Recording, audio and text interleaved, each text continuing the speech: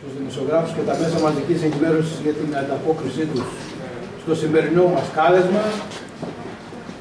Έχουμε την τιμή να σας παρουσιάσουμε το ψηφοδέλτιο Ετωλακαρανίας του ΣΥΡΙΖΑ, ένα ψηφοδέλτιο στο οποίο κατά τη γνώμη μας με άνεμος ανανέωσης, ανοίγματος στην κοινωνία, κοινωνικής ευαισθησίας. Θα ήθελα να σας πω ότι πραγματικά με το σημερινό μας ψηφοδέλτιο ο κοινωνικός ΣΥΡΙΖΑ βγαίνει στο προσκήνιο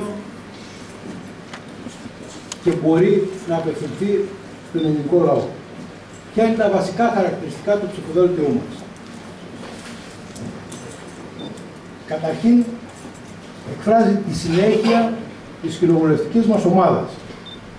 Μια κοινοβουλευτική ομάδα που έδωσε μάχες, οι δύο βουλευτές μας έδωσαν μάχες και στη Βουλή, σε μια δύσκολη περίοδο, κρατήθηκαν όρθιοι, δεν παρέδωσαν τα όπλα, δεν κάνανε πίσω και συνεχίζουν αυτόν τον αγώνα.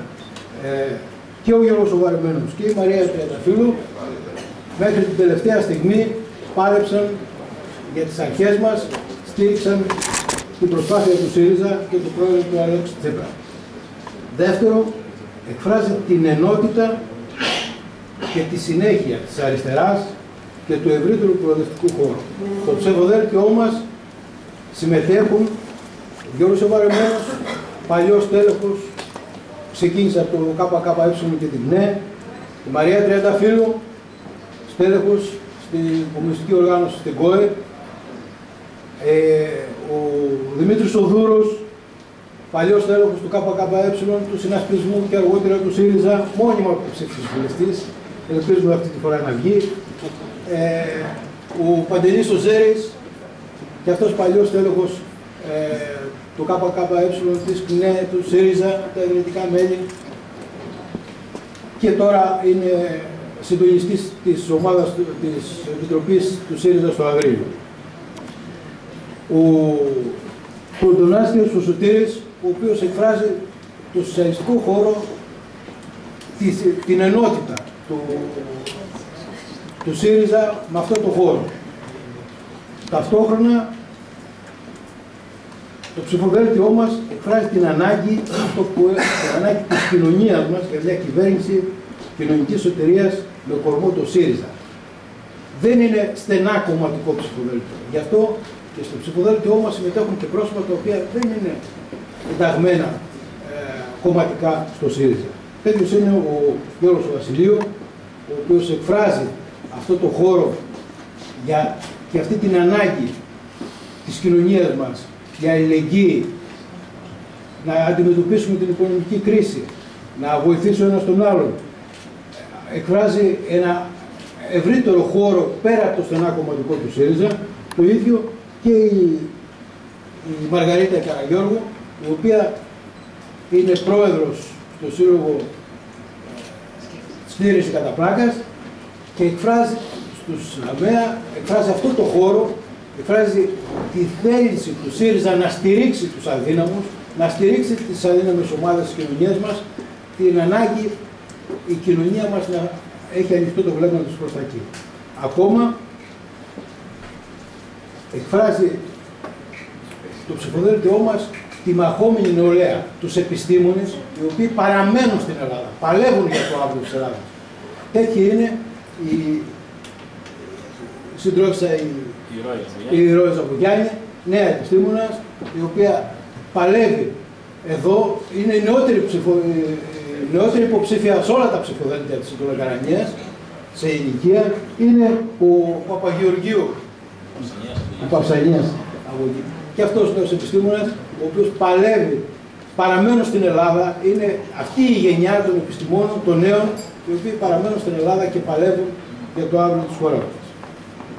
Πιστεύουμε ότι πράγματι το ψηφοδέλτιό μας εκφράζει το σύνολο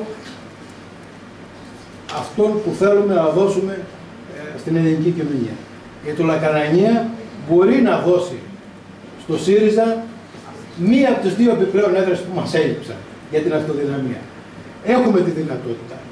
Θα ήθελα να σας πω ότι η εκλογική μάχη που έχουμε μπροστά μας είναι κρίσιμη. Θα καθορίσει σε μεγάλο βαθμό το μέλλον της χώρας μας. Γιατί στη τετραετία αυτή που έρχεται θα ολοκληρωθεί μια δύσκολη συμφωνία χωρίς να γονατίσει ο λαός μας, αυτό θέλουμε, να χτυπηθούν τα κυκλώματα και η διαφθορά, να ρυθμιστεί το χρέος που πνίγει την προοπτική της χώρας μας, να ξεκινήσει η προσπάθεια για μια παραγωγική ανασυγκρότηση της χώρας. Γι' αυτό μόνο ο ΣΥΡΙΖΑ μπορεί να ανταποκριθεί σε αυτά τα καθήκοντα. Γιατί, γι' αυτό και ζητάμε μια ισχυρή κυβέρνηση τετραετίας που να μην εκβιάζεται, να μην μπορεί να εκβιάζεται με πιέσεις από μέσα και τραβήγματο στο χαλιόν όπως είχαμε μέχρι τώρα. Μια κυβέρνηση που δεν θα μπουν από το παράθυρο αυτούς που έδιωξε ο λαός μας από την πόρτα. Μια κυβέρνηση που θα μπορεί να διαπραγματευτεί το χρέος, μια κυβέρνηση που θα μπορεί να εφαρμόσει ένα σχέδιο παραγωγικής συγκρότηση για τη χώρα μας. Ε, θα ήθελα να σας πω το εξής. Δίνοντα, δεν θέλω να πω πολλά λόγια, ε, οι υποψήφοι μας θα πούν δύο-τρία λεπτά ο καθένας ε, δύο λόγια. Και μετά θα πάμε πιο χαλαρά, θα συνεχίσουμε πιο χαλαρά, θα υπάρχει μπουφές, ας πούμε, μεζέτες και τέτοια που μπορούμε να συζητήσουμε και οι δημοσιογράφοι να συζητήσουν με τους υποψήφιους ε, διάφορα ζητήματα τα οποία εκτιμάνε ότι πρέπει ας πούμε, να βγουν στην επικαιρότητα. Να κλείσουν συνεντεύξεις, να γίνουν συζητήσεις κτλ. Ε, θα ήθελα κλείνοντας να πω το εξής. Ε, θα, συνεχίσουμε, θα συνεχίσουμε τις δηλώσει μας. Αύριο έχουμε μια εκδήλωση παρουσίαση πάλι του ψηφοδέλτιου και εκδήλωση στο Μισολόγιο, το Μισολογικό Θεοξένια, στις 11 το πρωί με τη Σία Αναγνωστοπούλου θα γίνει και ομιλία. Ταυτόχρονα συνεχίζει το πρόγραμμα περιοδιών ε, σε όλο τον νομό. Κάθε μέρα γίνονται 4-5 κλιμάκια με περιοδίες που απλώνονται σε όλο τον νομό. Ε, Κλείνοντας, θα ήθελα να πω, αποσιάζει σήμερα από, την παρουσίαση ο σύλλογος του Θεοδωράτης ο Μάκης, γιατί είναι περίοδος που παραλαβαίνει τα ψηφοδέλτια. Σήμερα έχουμε και τα ψηφοδέλτια στο νομό μας. Ε, και από αύριο θα έχουμε και το ψηφοδέλτιο που μπορεί να διακινηθεί. Σας ευχαριστώ πολύ. Μπορεί το λόγο τώρα να πάρουν ένας ένας υποψήφιοι μας. Γιώργος. Όπως είπε και ο Κώστας, ο ΣΥΡΙΖΑ είναι εδώ και ευθυγραμμίζεται απολύτως με το κοινωνικό ΣΥΡΙΖΑ. Είναι μια δύναμη συμπαγής, μάχημη, θα έλεγα μια εθνική συνιστόσα ενός ΣΥΡΙΖΑ. Καταλήτης ευρύτερων διεργασιών ενωτικών. Διότι εδώ που φτάσαμε, στο σταυροδρόμι που βρίσκεται η χώρα, χρειάζεται λαός ενωμένος, μια πλατιά λαϊκή, κοινωνική και πολιτική συμμαχία που θα επιχειρήσει να δημιουργήσει ένα σοκ αισιοδοξίας, να δώσει ένα σήμα σταθερότητας οικονομικής, που πάει πλάι-πλάι με την πολιτική. Στόχος του ΣΥΡΙΖΑ είναι μια καθαρή λαϊκή εντολή, όσο τον τον πιο δυνατή εντολή, προκειμένου να επιχειρήσει ο σκορμός μιας κυβέρνησης τη μεγάλη προσπάθεια να βγούμε επιτέλους στο ξέφωτο από αυτό το τούνελ της κρίσης δεν πετύχαμε όλα όσα θέλαμε. Μπορεί κάπου να παρερμηνεύσουμε για το συσχετισμό των δυνάμεων. Όμως, κανείς δεν μπορεί να αμφισβητήσει ότι η προσπάθεια έγινε, αν θέλετε και με ένα ηρωικό τρόπο.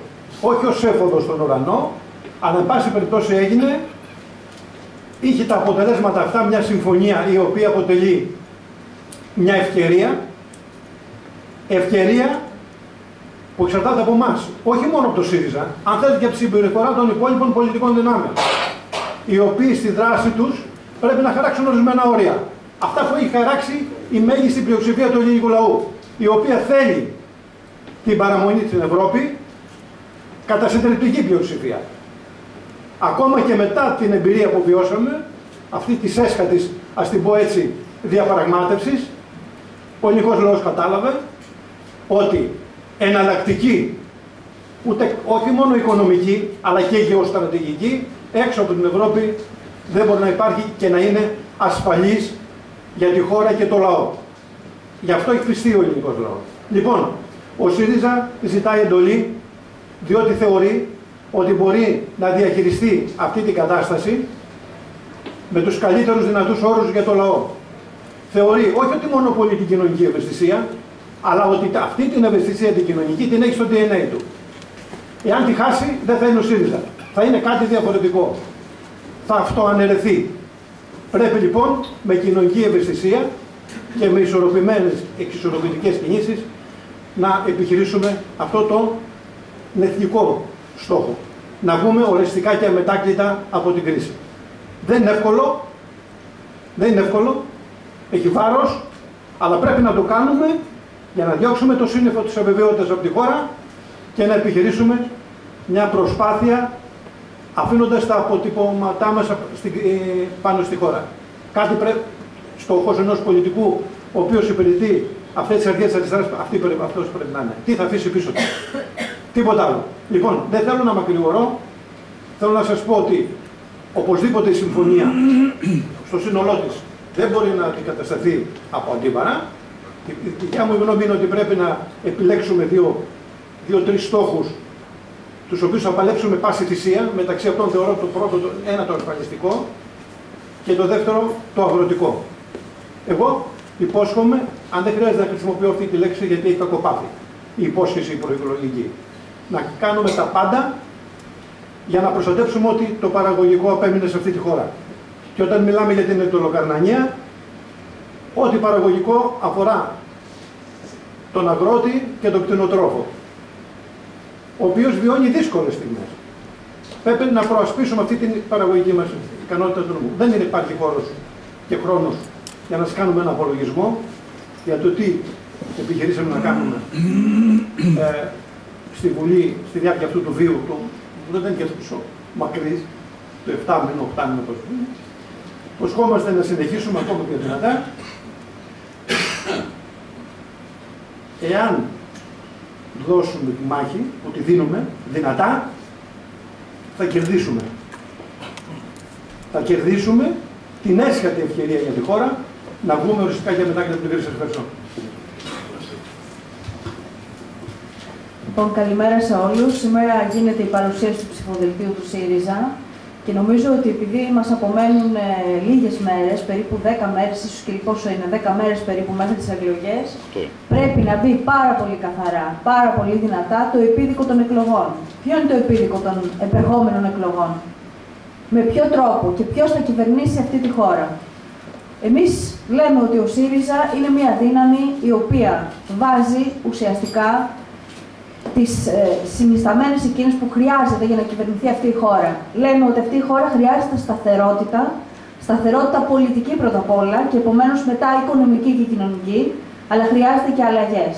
Αλλαγές που να είναι ουσιαστικές και να είναι αλλαγές σε όλους τους τομείς. Είμαστε αυτοί που λέμε ότι θα πρέπει να γίνουν αλλαγές στη δημόσια διοίκηση. Θα πρέπει να γίνει διοικητική ανασυγκρότηση. Για να γίνει αυτό, όσο και αν μας φαίνεται έτσι εκ του περισσού, στην πραγματικότητα θα πρέπει να παλέψουμε ενάντια σε συμφέροντα. Η διαπλοκή και η διαφθορά είναι ο μόνιμος εχθρός του ΣΥΡΙΖΑ και κατά την άποψή μας είναι και ο μόνιμος εχθρός της ελληνικής κοινωνίας και της ελληνικής πραγματικότητας. Πάνω σε αυτή, σε αυτή τη διαπλοκή και τη διαφθορά, μέχρι τώρα οικοδομήθηκαν παθογένειες, ανεπάρκειες που μας έθεσαν μέχρι εδώ. Είναι ο πρώτος στόχος, ο βασικός στόχος.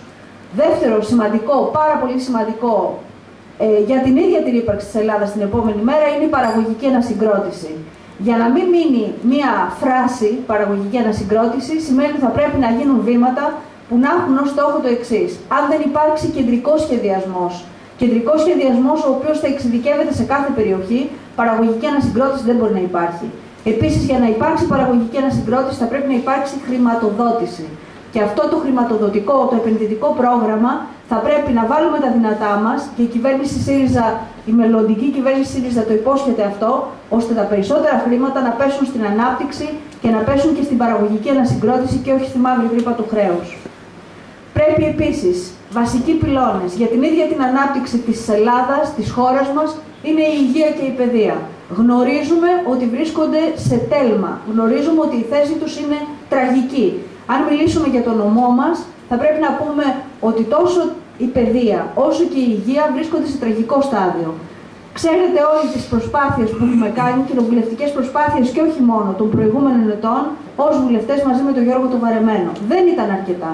Δεν ήταν αρκετά και δυστυχώς δεν χρειάζεται να σας πω, το καταλαβαίνετε όλοι σας, ότι αυτοί οι έξι μήνες της διακυβέρνησης δεν ήταν ικανοί να δώσουν τη χρηματοδότηση εκείνη που θα έφερνε στελέχωση, ουσιαστική στελέχωση και στα νοσοκομεία αλλά και στα σχολεία.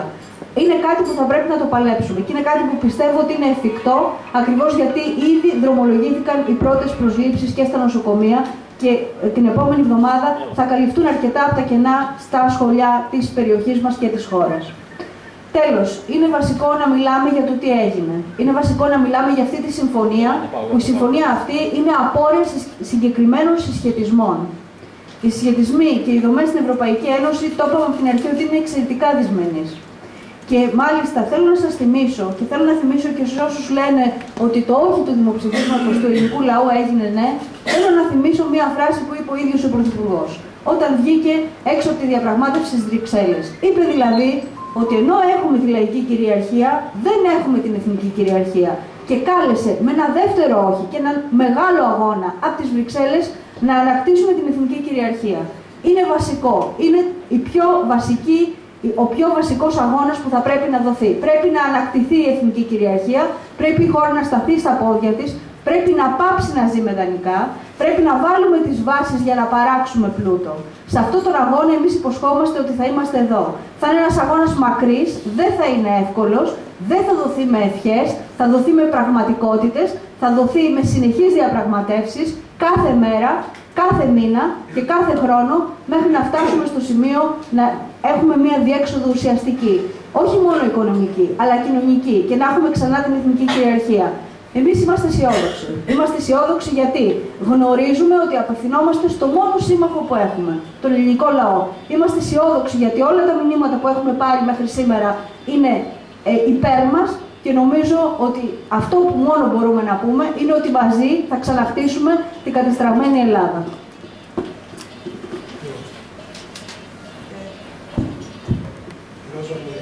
Καλησπέρα και από μένα. Λέγομαι η Ρόζα Βογιάννη.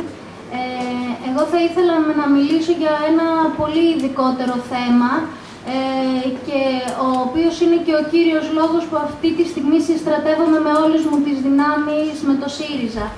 Αυτό είναι η εργασία και η νεολαία. Πρέπει στον μικρό μας παραγωγικό βίο, εγώ είμαι 32 χρονών, είδαμε ότι στα χρόνια του εξυγχρονισμού, δηλαδή του πλούτου ε, για τη χώρα, ότι υπήρχε ένα σχέδιο ήδη οργανωμένο φτωχοποίησης ε, του κόστους εργασίας για τους νέους ανθρώπους, ε, το οποίο είχε, είχε ξεκινήσει ήδη με τα stage. Ε, οπότε δεν μπορούν να μιλούσαμε για ένα πολύ οργανωμένο σχέδιο ήδη από πριν το 2010 που ήρθαν τα μνημόνια στην Ελλάδα. Θέλω να πω ότι σε αυτό το οργανωμένο σχέδιο και όσο συνέχιζε μετά να υπάρχει κρίση, μπήκε σε αυτό το σχέδιο και η φαυλότητα. Η πελατοκρατία ακόμα και για αυτά τα stage, αυτό, ακόμα και για αυτή την χαμηλά αμοιβόμενη εργασία. Στα χρόνια του μνημονίου οι νέοι δουλεύουν για πάρα πολύ λίγα λεφτά, ε, δουλεύουν σε εξαιρετικά επισφαλείς συνθήκες και αυτή τη στιγμή γιατί ο ΣΥΡΙΖΑ είναι πάρα πολύ σημαντικό για τους νέους.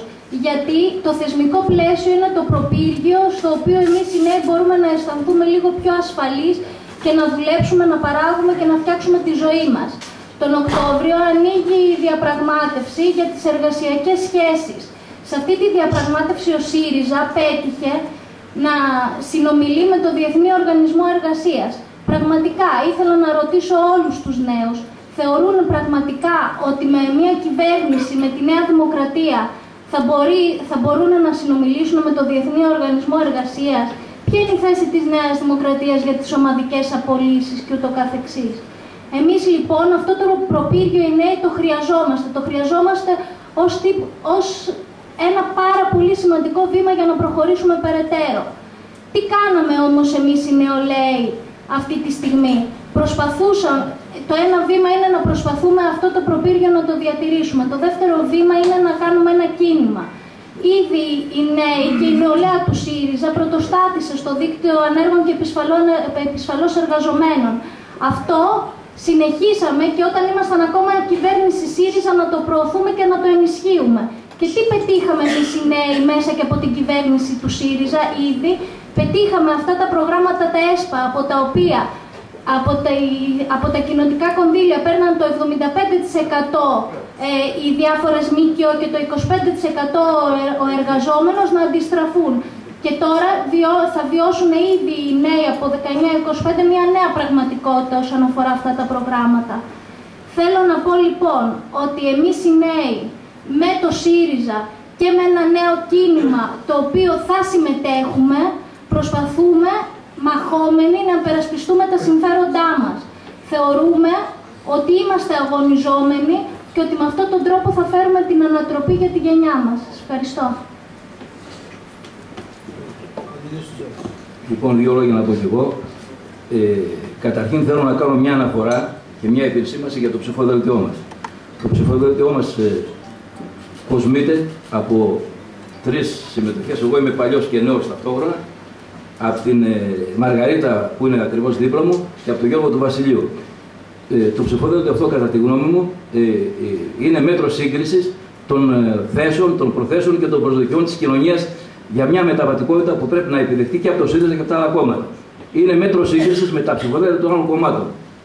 Συγκρίνεται και απευθύνουμε και στο ρόλο του Οργανία και στο ρόλο του Αγρινίου πώς συγκροτηθήκαν τα άλλα τα ψηφοδέλτια, με ποιες προσωπικές τακτικές και με ποιες λογικές, αν θέλετε, πολιτικής μικροκομματική σκοπιμότητας και πώς συγκροτείται σήμερα το ψηφοδέλτιο του ΣΥΡΙΖΑ.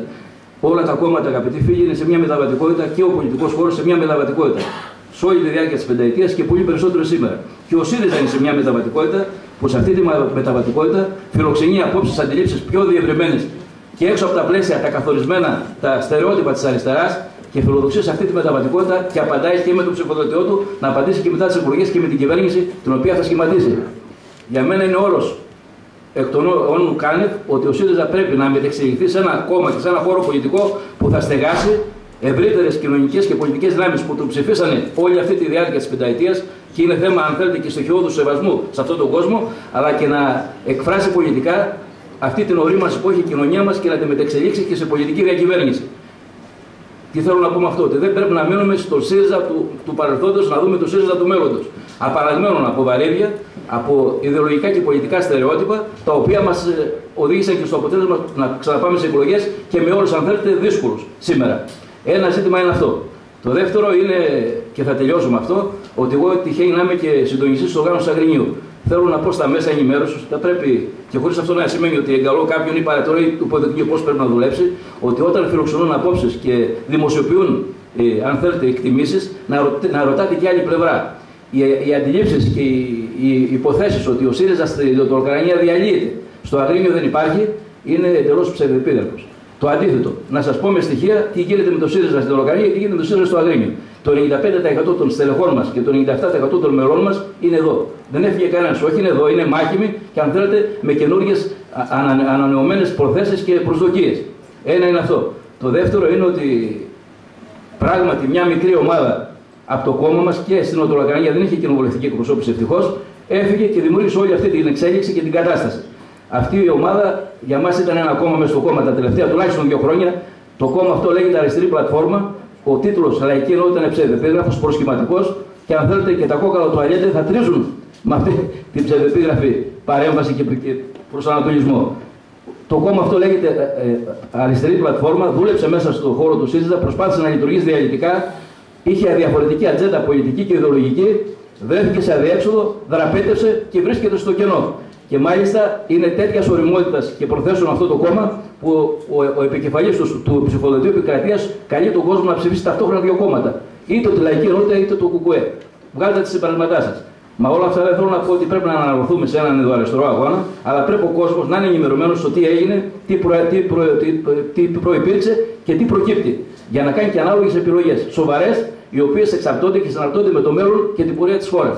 Η αριστερά πρέπει να φύγει από την απλοϊκότητα, τα ιδεολογήματα και τις δραπετεύσεις προς το, προς το πουθενά και να γίνει μια γήινη, πραγματική, πραγματιστική δύναμη, η οποία όμως θα έχει ως προαπαιτούμενο τα συμφέροντα των πολλών ενάντια στα συμφέροντα των λίγων. Αυτά.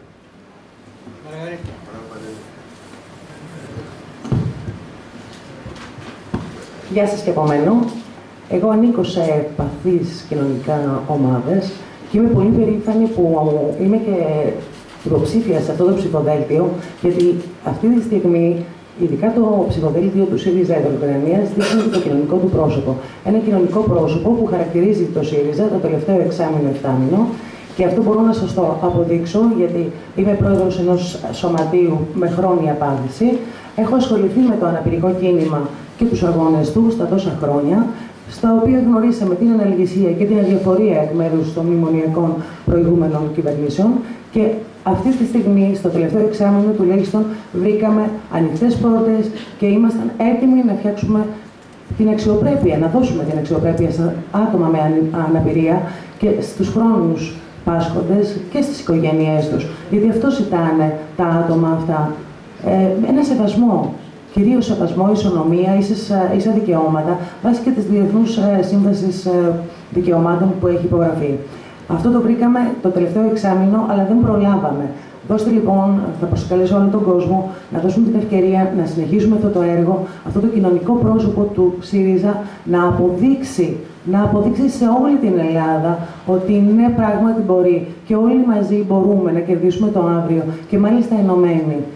Θα παρακαλέσω ειδικά στην Εδωλοκρανία, επειδή είναι περήφανος λαός και είναι αγωνιστής ο κάθε Ετωλοκαρνάνας, να αποδείξει αυτή τη φορά και να δώσει πρότυπο και παράδειγμα σε όλη την Ελλάδα, να στηρίξει το ΣΥΡΙΖΑ και να παρακολουθήσουν και όλοι οι υπόλοιποι και να ακολουθήσουν το παράδειγμά μας, γιατί με περηφάνεια και με αξιοπρέπεια και με ελπίδα και με αισιοδοξία μπορούμε να κερδίσουμε τα πάντα. Όλοι μαζί μπορούμε. Θέλει τρόπο, δεν θέλει κόπο. Σας ευχαριστώ πάρα πολύ. Να είστε καλά.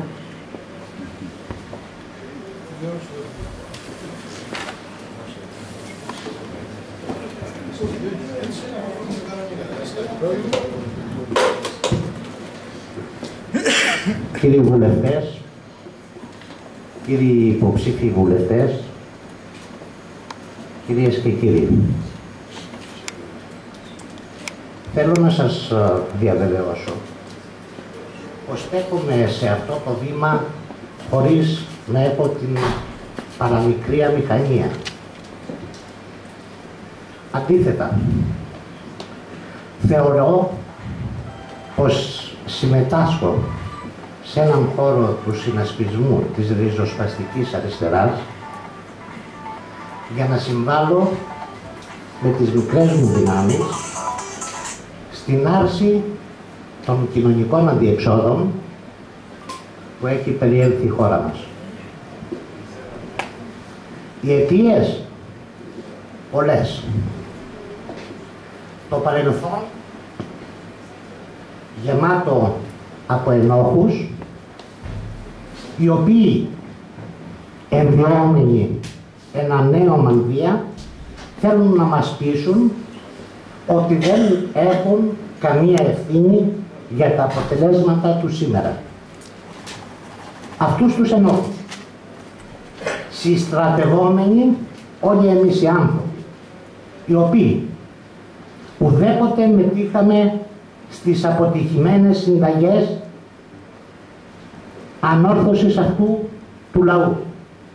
Συστρατευόμαστε σε αυτό το νέο χώρο του συνασπισμού της ροζοσπαστικής αριστεράς υπό την καθοδήγηση του Προέδρου Αλέξη Τσίπρα για να πάμε την Ελλάδα από το χθες στο αύριο.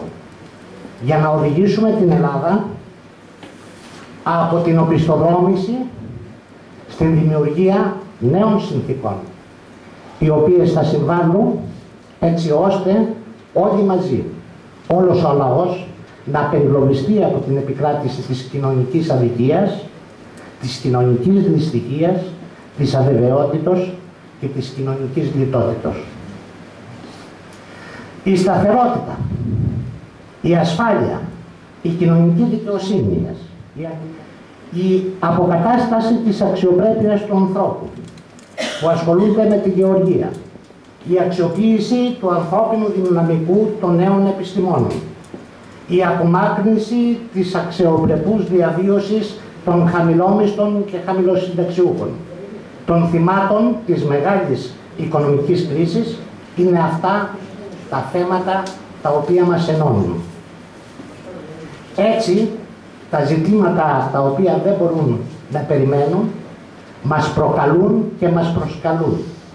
Αυτά καλούμαστε να διαχειριστούμε με εντυμότητα, έτσι ώστε στο μέλλον να καταγραφούμε εμείς οι διαχειριστές από τον ιστορικό του μέλλοντος ως η γενιά του νέου πολιτικού ήθους η οποία συνέβαλε αποφασιστικά στην αντιμετώπιση αυτής της ανθρωπιστικής κρίσης.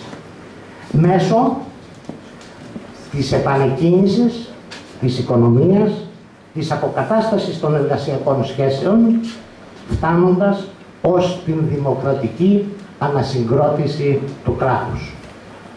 Τέλος, όλα αυτά θα μπορέσουν να γίνουν πράξη όταν όλοι μαζί, ο κάθε ένας από το μετερίζει του, απεγκλωβισμένος από το εγώ, στείλουμε το μήνυμα νίκης της ριζοσπαστικής αριστεράς στον κόσμο.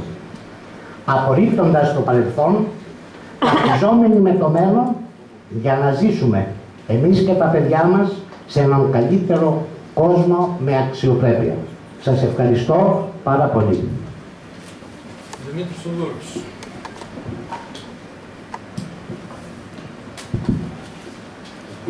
Σας στέλνω χαιρετισμούς από την Αυπακτία.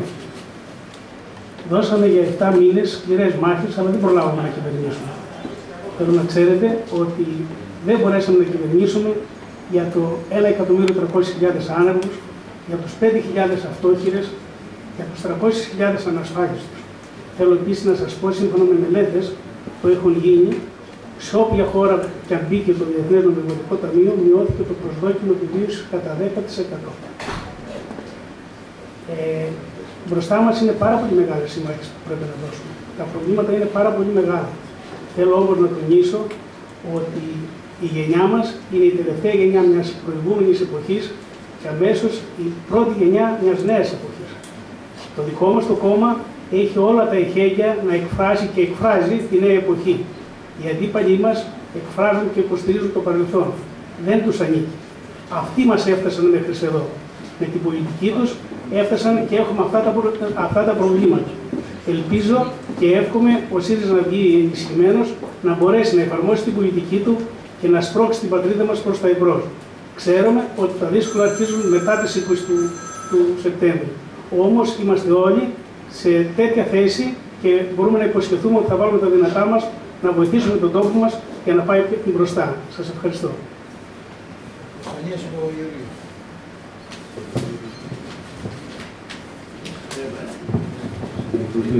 αυτό.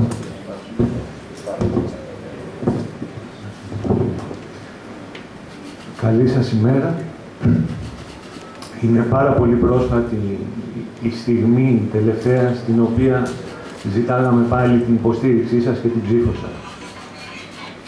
Και είναι απαραίτητο για το διάστημα που πέρασε και ομολογουμένως πρέπει να το κάνουμε, ο καθένας μας να μιλήσει για το τι έκανε, για τις πράξεις του, για το πώς κατάφερε από την πλευρά του, από τις δυνατότητες του, από τις ικανότητες του να βοηθήσει σε αυτή τη δύσκολη στιγμή που είχε βρεθεί η χώρα.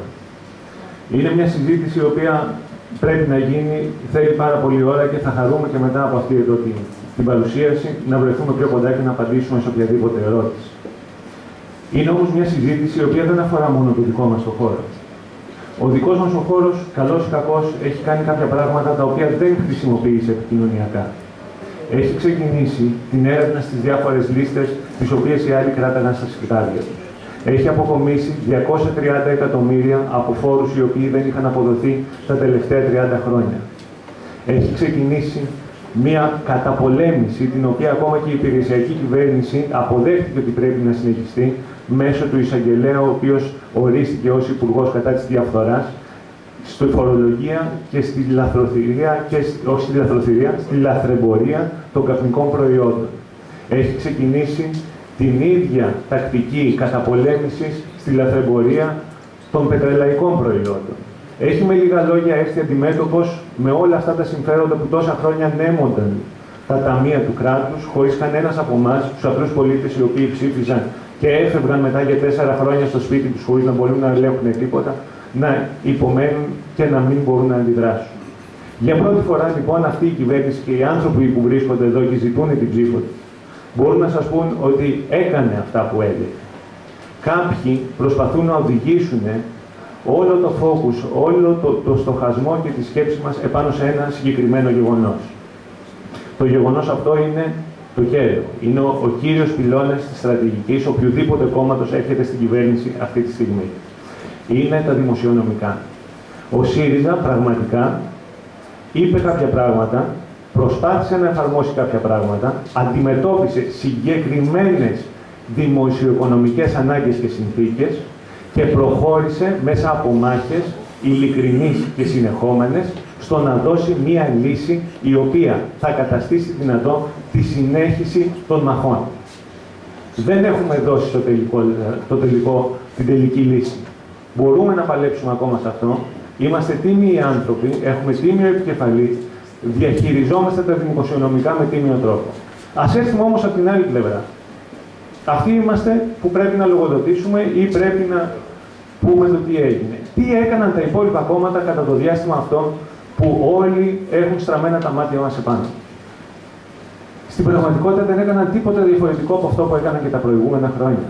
Και αυτό το παρουσιάζουν και μέσα από τα ψηφοδέλτια τους, τα οποία είναι κυρίως, αν όχι στο 100%, στελεχωμένα από άτομα τα οποία έχουν διαχειριστεί τα δημοσιονομικά μας με αποτυχημένο τρόπο, έχουν οδηγήσει τη χώρα μας στην κατάσταση στην οποία γίνεται, που στην οποία βρίσκεται αυτή τη στιγμή και επανέρχονται να διεκδικήσουν πάλι την ψήφο χωρίς να έχουν μάθει τίποτα από τα λάθη τους ή από τις κακές βουλήσεις που είχαν στο παρελθόν.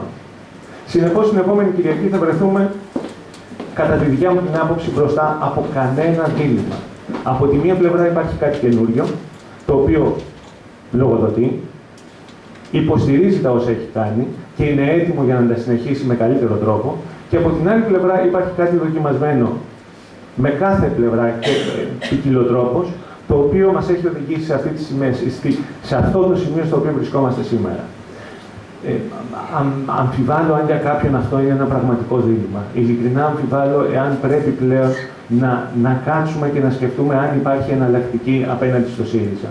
Ο ΣΥΡΙΖΑ είναι ένα κόμμα το οποίο προήλθε από αντιπολιτευτική πλευρά και μέσα σε έξι μήνες κατάφερε να ανταπεξέλθει σε προβλήματα τα οποία είχαν δημιουργήσει τα κυβερνητικά κόμματα της τελευταίας τετρακονταετίας. Σας ευχαριστώ πάρα πολύ. Σας εύχομαι να έχετε ένα καλό αποτέλεσμα με βάση ανάγκες και την βούληση του καθένα. Λοιπόν, καλημέρα σε όλους και όλες. Εγώ θα πω το εξής εδώ, έχοντας κατακτήσει το δικαίωμα να μιλήσω τελευταίο, πράγματι συμφωνώ απόλυτα με, με τους χαρακτηρισμούς που ο Κώστας πρώτος ε, χρησιμοποίησε για να αξιολογήσει το ψηφοδέλτιό μα. Πράγματι, ο καθένας από όσους προλάλησαν είχε κάτι διαφορετικό να προσθέσει στην κουβέντα αυτή. Η, αντιλαμβάνομαι δε, και θα το ξέρουν αυτό καλύτερα από μένα εδώ και οι τοπικοί δημοσιογράφοι, ότι μάλλον ποιοτικότερο ψηφοδέλτιο από αυτό που ο ΣΥΡΙΖΑ κατεβάζει σήμερα στο νομό της Λοκαρανία άλλο κόμμα δεν νομίζω να έχει. Αν έχει, δηλαδή από πλευράς καταξίωσης επαγγελματικής, επιστημονικής και ήθη των συμμετοχόντων, καλό είναι να μας το πείτε. Και καλό είναι και εμείς Κώστα να το προβάλλουμε το στοιχείο αυτό για να γίνονται οι συγκρίσεις ακόμα και μεταξύ των υποψηφίων των διαφόρων κομμάτων. Παρότι δεν τίθεται θέμα σταυρού, η κοινωνία πρέπει να ξέρει και ποιους προτείνει το κάθε κόμμα να την εκπροσωπήσουν από τοπικής ε, πλευράς. Αυτό όμως που θέλω να καταθέσω περισσότερο, γιατί θα τα πούμε τα άλλα εν ολίγης, είναι ότι μετά από τρεις ε, συμμετοχές που έχω εδώ σε τοπικές εκλογέ με το ΣΥΡΙΖΑ, είναι χαίρομαι για ένα πράγμα. Είναι η πρώτη φορά που μπορούμε να μαζευτούμε, να συνομιλήσουμε και να συνεδριάσουμε χωρίς να ξεκινάνε οι διαμάχες, οι έρηδες, οι ανοησίες από, την, από τα διαδικαστικά άτομα. Είμαι δε βέβαιος ότι και στην ουσία να προχωρήσουμε της πολιτικής συζήτησης, πράγματι θα πρόκειται για μια συζήτηση που θα αποτελέσει όπως η προχθεσινή στην επένδυση με τον σύντροφο τον Αποστόλου, παράδειγμα πολιτικής κουβέντας πολιτών που έχουν ερωτήματα και πολιτικών που μπορούν και θέλουν να απαντήσουν. Τώρα, αυτή την κατάκτηση λοιπόν του ΣΥΡΙΖΑ ε, θα πρέπει να την κρατήσουμε ως κόλλιο φθαλμού και βεβαίως εδώ όσοι αντιλαμβάνουμε περισσότεροι, γνωρίζετε τι έχουμε τραβήξει τα προηγούμενα χρόνια. Αυτό όμως δεν είναι μόνο θέμα τοπικού ενδιαφέροντος ή τοπικού χαρακτήρα. Αυτή η κατάσταση χαρακτήριζε το ΣΥΡΙΖΑ πανελλαδικά.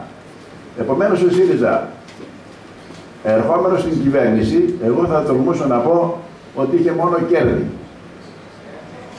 Και δεν είχε απώλειες.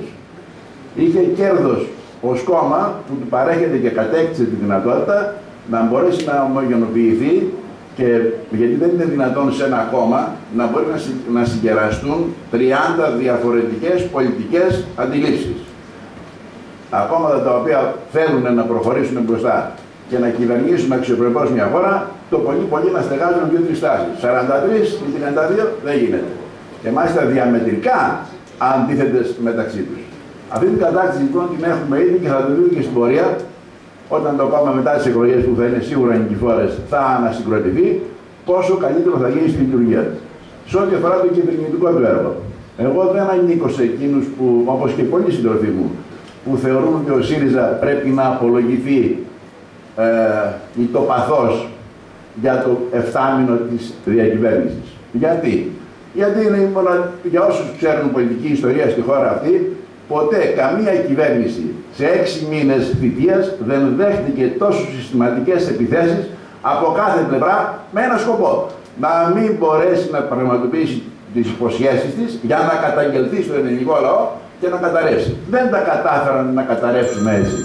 Επιχείρησαν να μας καταρρύψουν εκ των έσω. Αυτό το κατάφεραν.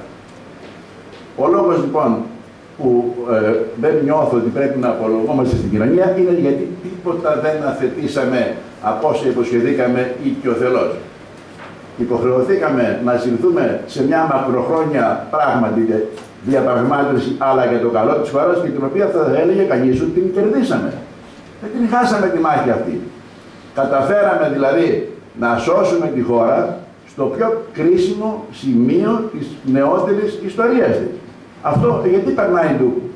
Θεωρεί δηλαδή κανείς από εμάς εδώ ή και από άλλους που δεν είναι εδώ, ότι αυτή η συμφωνία που επέτυχε ο Πρωθυπουργός με το επιτελείο του είναι αμεληταία ή είναι μόνο κακή; Βεβαίως έχει και πόδινα στοιχεία για όλους μας. Αλλά έχει το μείζον θέμα επιτύχει. Την εθνική σωτηρία. Την σωτηρία της πατρίδας. Δεν θα είχαμε καμιά σωτηρία ούτε ως πολίτες ούτε ως πατρίδα αν, μας είχαν, αν κάποιοι μας είχαν σύρει εκτός ευρώ και εκτός ευρωζώη.